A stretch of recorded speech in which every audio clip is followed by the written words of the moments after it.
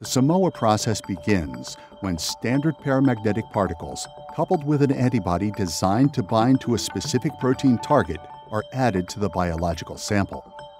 Next, detection antibodies containing an enzyme capable of generating fluorescent product are introduced to the solution. The objective is to form an immunocomplex consisting of the bead, bound protein, and detection antibody. Beads are subsequently concentrated by magnetic separation and washed to minimize background. At low concentrations, each bead will contain either one bound protein or none.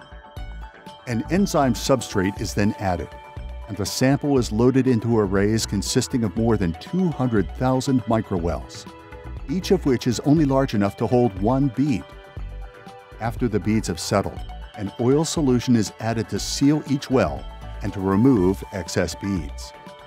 The sealed wells and their tiny size are critical to the operation of Simoa technology